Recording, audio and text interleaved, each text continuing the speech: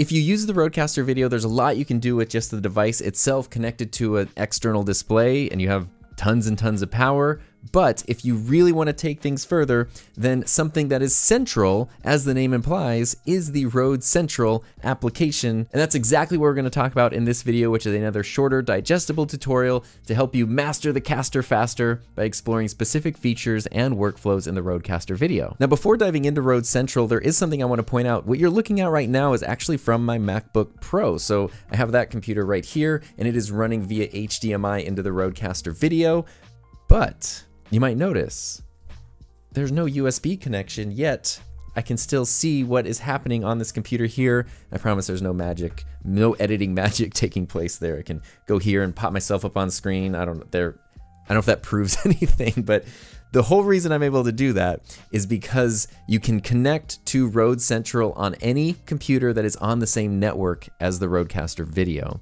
So even though my computer is not physically connected to it, they are on the same network. So as soon as I open Rode Central, it shows up. Now on my other computer over here, the Mac Mini, because the Rodecaster video is physically connected to this, that shows up also, and then you also see my Rodecaster Duo, which is connected. And this I am overlaying in editing the, the part that's on the Mac Mini. But it's also worth noting that if you do have two devices, you can currently only be using the Rodecaster video on one of them. So if I'm opening it up and going through things on my Mac Mini and then I try to open it on the MacBook Pro over here, it will just say syncing and it won't actually open until I close Rode Central on the Mac Mini. So even though it doesn't have to be a physically connected device to the Rodecaster video, it can only be one device at a time. But going back to Rode Central, if I click on the Rodecaster video, now we see basically everything that that the Rodecaster video has to offer. The only thing I'm not able to do right now because I am recording directly on the device is adjust stream profiles. And so while you currently can only stream to one destination at a time with the Rodecaster video, stream profiles let you save different destinations easily. So if you have like a YouTube channel and an Instagram and a Facebook or multiple YouTube channels or whatever, you can just put the profile and the stream key and all these different settings and switch between them. That's basically what the stream profile setting is all about. And the other caveat that I have before before get started is that Rode Central is something that is has a history of being updated pretty often, and with the Rodecaster video still being quite new. I have a feeling there's going to be a lot of updates. So depending on when you're watching this, things may or may not look exactly the same. I am using version 2.0.56 of Rode Central, so just keep that in mind as you're watching this, especially if you're watching this in the future. So my goal today is just to go through pretty much every setting in Rode Central and explain how they apply to the Rodecaster video. And we're just gonna start simply going left to right, top to bottom, and we'll start with the scene builder, which is pretty much the more complex option there. And when you open it up, you get what looks like a broadcast control room. You basically have a virtual Rodecaster video right here, and I can click these buttons and change my sources just the same as if I were actually pushing these buttons on the Rodecaster video itself. So if someone were remotely connected on the same network, they can actually control the Rodecaster video without having to physically be near it, which is kind of cool. So you can go through all the basic stuff there. I did a whole separate video all about switching and that stuff, so you might want to check that out if you don't know how these functions work. But as you can see here, we've also got my media library. We can do video, graphics, and sounds. And we've also got a bit of basic information like the fact I'm recording right now. And this is where we can start building our scenes. And that's pretty fun. So up here, A through G, these are the scenes in the Rodecaster video. I'm actually going to delete this scene because there's nothing there right now. So we deleted scene E, and if I go back to a different source, there we go. Now scene E is blank, and we're gonna add a scene there. And what a scene is, is basically a combination of video sources, graphics, all kinds of stuff that's all just sort of in one specific package. So right here, you've got me in the corner, and you've got the Rodecaster video being overlaid there, but I can still go back and forth between my sources and then easily jump to scenes like that, which is Diving into scenes is where you really start to see some of the pretty incredible power of the Rodecaster video. And so if you want to create a blank scene, what we can do here is click on the empty one, and then we have the option to choose template or custom. Templates are going to give me some options that are pretty sweet, actually. So you can do like pre-existing layouts. I actually have some of those, you know, I was playing with some of them here. You can just kind of see what those look like. But for our scene here, you can also do custom, which then allows you to choose what you want. So for example, let's add in, we're gonna make this input camera, we'll do camera one, so that way you can see me, you don't have to miss out on seeing me. Now I've got my source here, which I can actually scale it up, And by dragging the sides, I can actually crop in on my source. So if we don't need me to be, you know, you might not necessarily need this whole part of the room over here. Let me see if I can get it. There you go. This whole, there it is. This whole part of the room over here where there's nothing in it. Maybe we don't need that in this shot. So we can kind of pop that over here and maybe put me, you know, over here in the corner or something. And then what we can do down here is we can add another input. Let's make it the Rodecaster video itself. That's kind of sweet.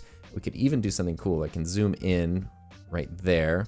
And then maybe, maybe we actually want to go back to input one. Maybe we want to make me a little bit larger and in charger. And then we'll add another source. In this case, we'll make it camera two because I'm all by myself today. So it's just me over here. And we're kind of building a scene the way that I want it depending on whichever sources I'm using. Let's see, we can extend that out, make it a little bigger.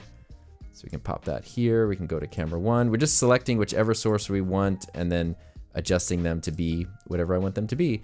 And now we have this uh, very interesting looking scene here. I can take borders on and off of these options here and I can change the color of the borders, which right now is pretty limited. I just have these colors. Something I would like to see is the ability to not only add more colors for borders, but different borders for different elements instead of everything having to be the same color. You might want different things to be different colors. That feels like something that will probably come in future updates, but this is the way it is for right now.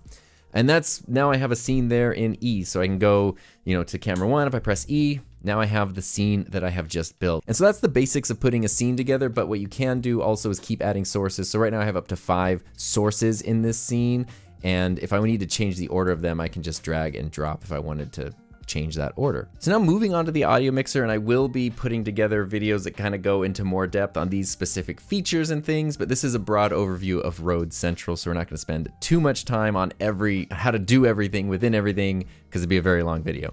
The audio mixer, if you used a Rodecaster Pro before, or, you use, or you've used Rode Central or Rode Connect in the past, this will look very familiar to you because that's that's pretty much what you got right here.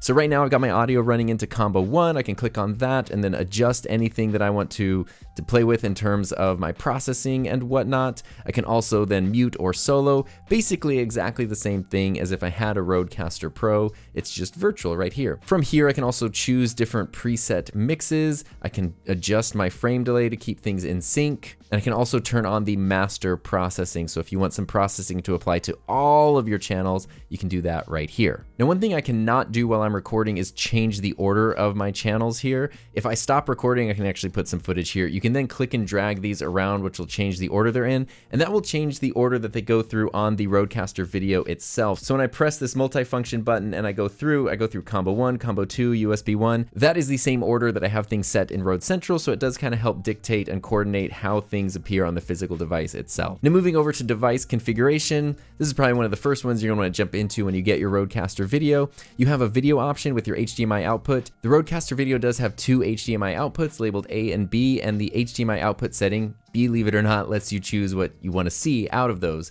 Right now I can choose program or multi-view, and if I switch my switcher to studio mode, then I go to HDMI outputs and now I actually have a preview mode. So it can change just a little bit. Program will give you exactly what you're seeing. Preview will be what's up next, essentially, if you're in studio mode. And multi-view will give you all of your sources plus your program or your program preview. The one thing, like I mentioned in other videos that I would like here is a source output because it'd be really great to just be able to assign a source to one of the HDMI outputs as well. Here you can adjust your frame rate. I can't make any changes while I'm recording right now, but you can do everything from 23.98 all the way to 60 FPS, and you can adjust your frame rate there. We can go to switching, and this is where you can change instant or studio, and then recording, we can turn on or off ISO recording. I have it on, and I am recording right now, so I cannot adjust this while I'm recording. The audio tab is different than the audio mixer because this is more about you as the user. This is where I can tell it what kind of headphones that I'm using, so I get the best quality out of my headphones. I can go into my monitor and choose if I want a fixed output level.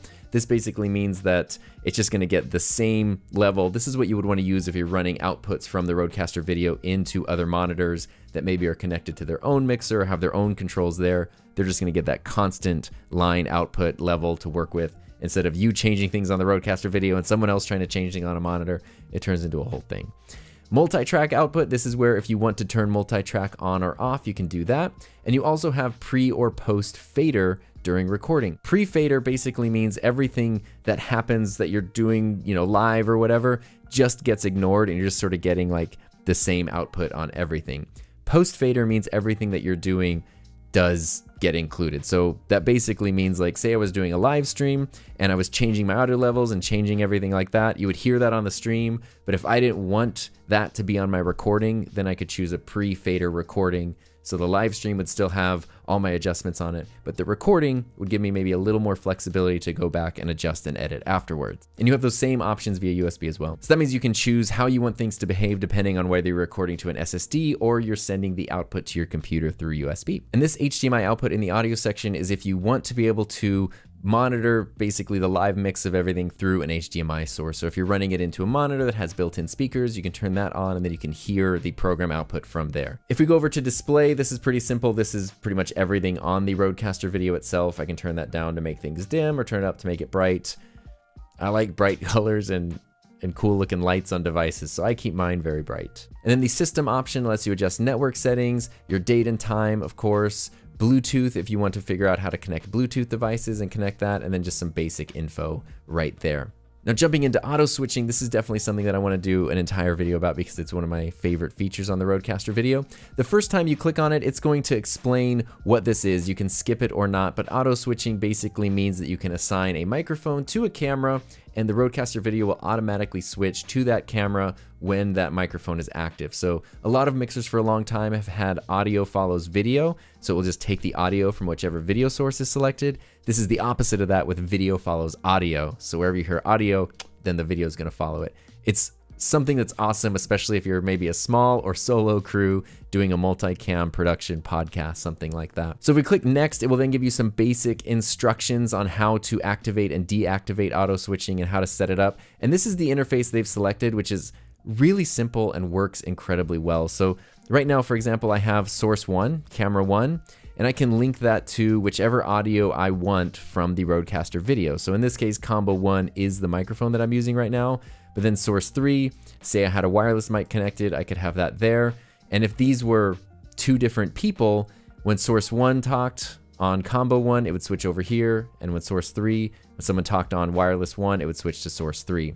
And you can select your priority as well. So if source three is the guest, you might want to give them high priority. You know, sometimes someone will say something and as the host, you might say, oh yeah. You might not want it to cut to you every time you make any sound. So by giving the other person a higher priority, it's going to stick with them until you start talking a little more and then it will switch over to you. And then once you have auto switching set up, the way that you engage it is you just hold down the auto button right here and it will turn blue and that will turn on auto switching and then you can just press anything to turn it off again. And that is currently everything that's in Rode Central for the Rodecaster video. Like I said, you can definitely probably expect some updates here. Rode has a really good track record of that, but something I've been encouraging everybody to do because this is a new device with some cool new functionality. If you have ideas for things that you want to see or things that you think are missing or that it could do better, definitely submit that feedback to Rode because they obviously want this to be as good as possible. I want it to be as good as possible. Like we all want to use the best device we can.